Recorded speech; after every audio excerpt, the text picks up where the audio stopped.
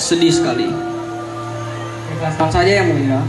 Yang sabar Paduka, pasti permaisuri tenang di alam sana. Aku nggak bisa hidup tanpa dia. Mungkin itu sudah takdirnya. Lalu, lalu siapa yang akan menemaniku? Masih ada Bang Indah Naga dan Bang Indah Buaya. Raja Mintin merenung sejenak. Aku rasa aku butuh waktu menenangkan diri sebentar dari urusan kerajaan ini. Mungkin aku akan pergi belayar, akan surut sungai. Apa Paduka yakin? Ya, Patih. Besok lusa aku akan berangkat belayar. Paduka ingin pergi ke mana? Aku hanya akan belayar, surut sungai dan mencari penghiburan untuk lukaku. Untuk melanjutkan pemerintahan, aku akan memberikan tahta kepada naga dan buaya. Baiklah kalau itu keinginan Paduka, kami akan mempersiapkan semuanya.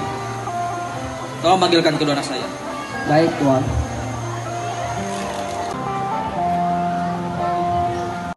Yang sudah menunggu di pendopo kamarnya.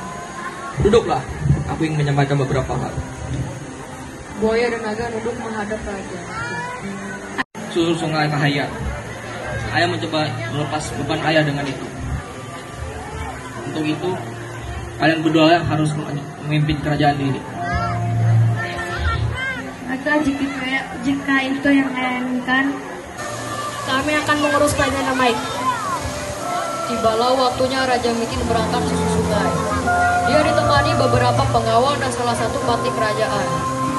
Setelah Raja Mitin meninggalkan pulau kerajaan, naga dan buaya mulai membuat rencana untuk kerajaan didampingi patih kerajaan. Apa yang kita lakukan? Apa yang kita lakukan sekarang? Yang memerintah kerajaan ini mengurus rakyat. Bagaimana kalau kita berbuaya mulia? Tidak seperti itu. Kita harus mengatur sudah lama kesulitan karena diabaikan ayah. Tidak, biarkan mereka yang berke eh, tidak, biarkan mereka yang berusaha sendiri. Jangan manja. Tidak. Mari kita nikmati saja yang tersisa dari kerajaan kita sebelum ayah kembali. Tidak seperti itu. Kita harus mengaturkan. eh, Tidak, kita berjuang bersama. Aku akan terus mengawasimu. Benar Tuan Muda Naga, mulai egois. Tanggung jawab raja sudah di tangan kalian. Ya, sudah sana. Buaya pun pergi mengunjungi membantu rakyat yang bersama. Ayo kita berpesta, biarkan dia saja yang berkorjo. Jangan Tuan Muda. Ah, kamu sama saja. Pergi sana. Kalau enggak aku penggal kepalamu. Sebaiknya Tuan harus hati-hati. Tuan Muda Buaya dan Raja akan marah besar. Pada suatu malam, saat buaya sedang berkeliling mengunjungi rakyat dan mengurus kerajaan. Naga memanggil beberapa prajurit kepercayaannya dan memerintahkan mereka untuk melayaninya.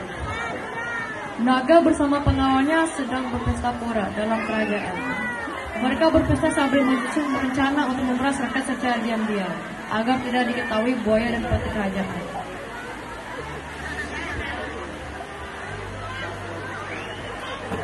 Saking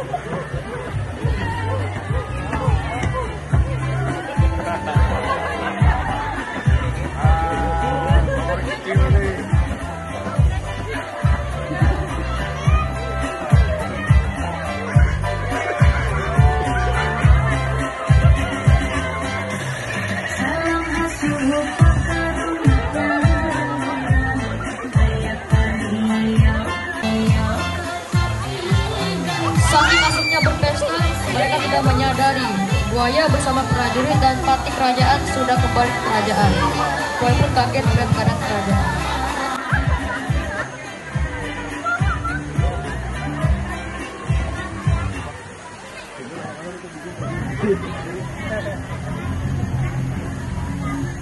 Ya ampun, apa yang kamu lakukan, Naga? Tapi naga tidak mendengarkan. Dia terus saja berpesta sambil tertawa terbahak-bahak. Naga, hentikan!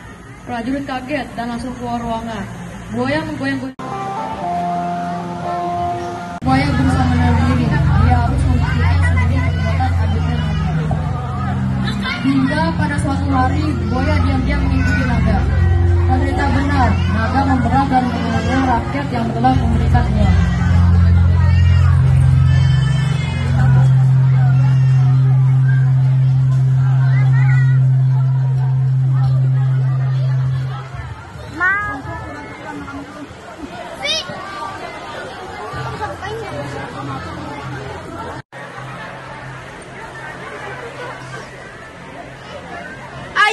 Prajurit, ambil semua yang mereka miliki. Ampuni kami Tuan.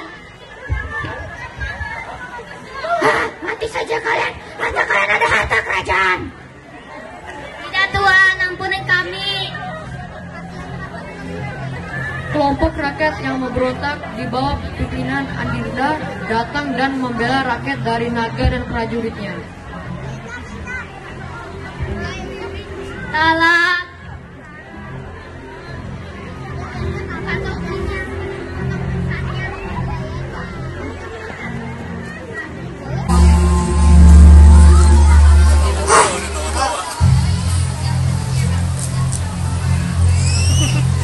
Siapa kamu? Berani-beraninya kamu melawanku akan kubanggal kepalamu. Kami tidak takut. Kami tidak sontak mengambil mata kami. Sausnya kalian malu. Hah, prajurit, dia. Ayo kalian ikut kami. Ayo, yuk, yuk, yuk. Kalian akan jadi tangkapan kita. Yuk, ikut, ikut, ikut, ikut, ikut.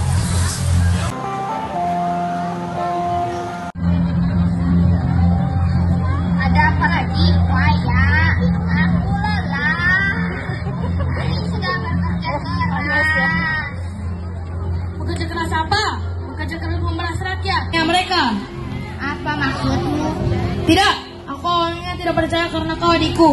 Tapi aku diam-diam mengikutimu. Ternyata selama ini kamu menghabiskan har- harta ayahanda yang diberi berpesta. Kamu juga memeras menganiaya dan menganiaya rakyat yang sudah yang seharusnya kita bantu. Aku tidak peduli.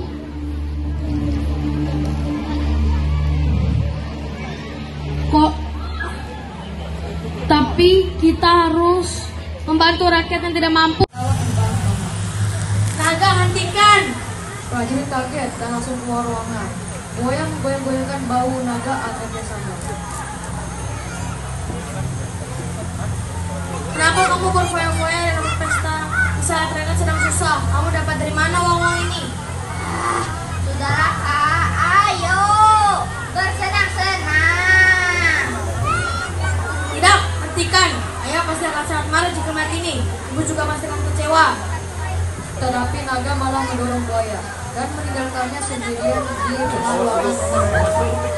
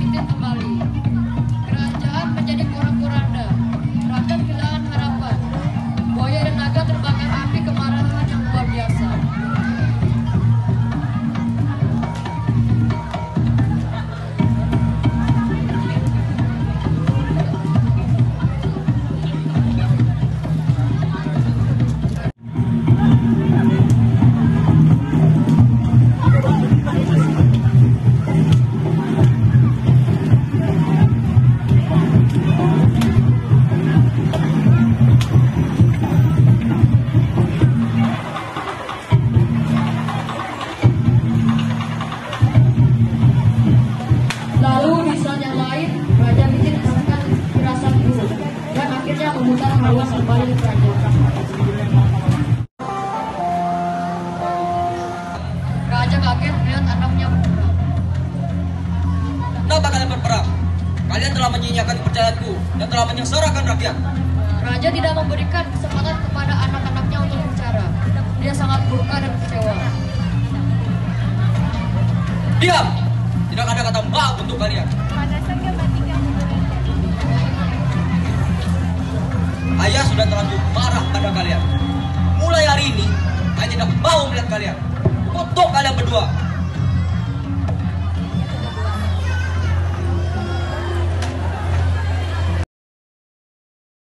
Ini boy sebuah yang bertugas menjaga Pulau itu.